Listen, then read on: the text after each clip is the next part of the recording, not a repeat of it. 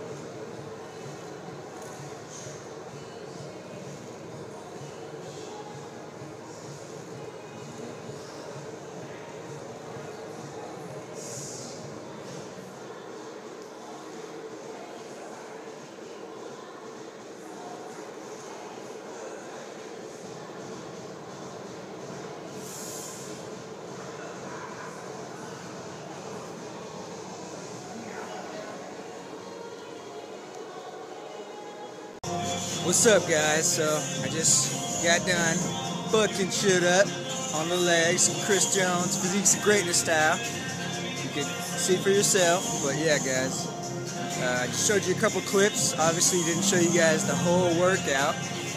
Just wanted to show you guys what I'm doing, and I actually just got done training on this field right here.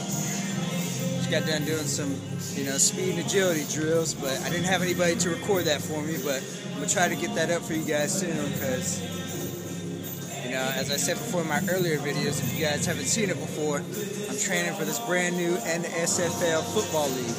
It's basically a spring football league, kind of like a minor league for the NFL guys. So, if you guys want to know more about it, uh, subscribe and I'll take you guys on my journey. And I also have training programs to offer as well on this channel to you guys because I'm also a personal trainer. So, yeah, guys, join up, subscribe, like it, share.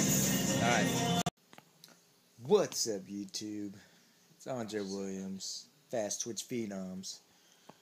Just chilling, man. Laying down on the couch right now, watching a little TV. Watching this movie Mud with Matthew McConaughey in it.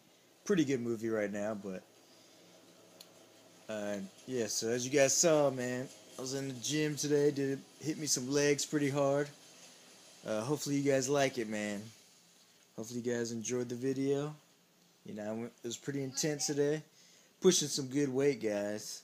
You know, I haven't really squatted, you know, heavy in about two months, so that's actually pretty good for me. I was actually, if you guys couldn't see, it was doing three, was it 325? Yeah. And then for my last set, I took it up to 330, so it's pretty good for not really squatting heavy in like two months or so. So yeah, I definitely feel my strength coming back. This is like my second week, guys. And then I also did some deadlifts. I was doing 315 with that.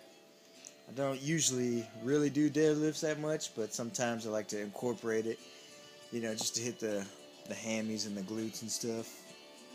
You know, so I was just doing 315, and that was good good weight for me. I was doing about six reps. Yeah, for both those uh, lifts though. I did uh, four sets each, about five to six reps.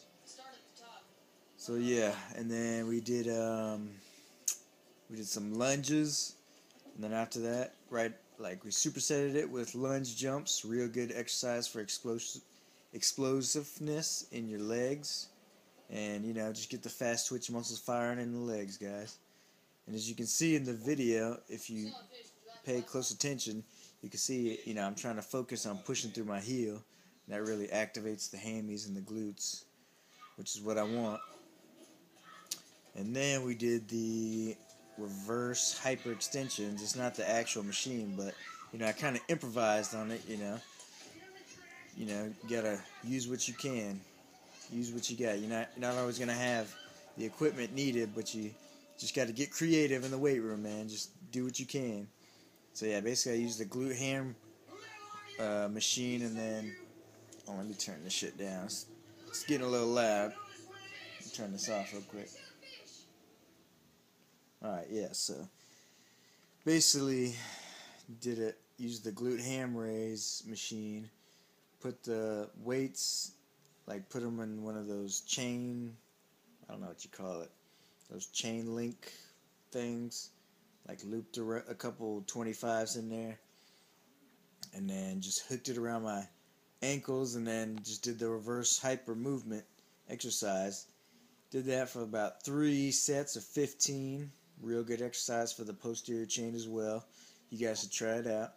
And then finally we ended it with the glute ham raise and I actually recorded two different versions of it first one I did was just like halfway down and then up.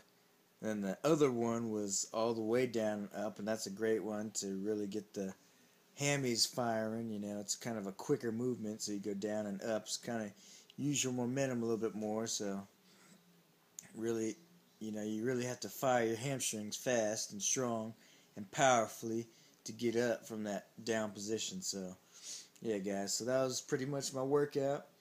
You know, I was in there doing my thing, and like I said in the other uh, video, I also did my uh, speed and agility training earlier. I couldn't record it for you guys, but I'll definitely get that out to you guys soon.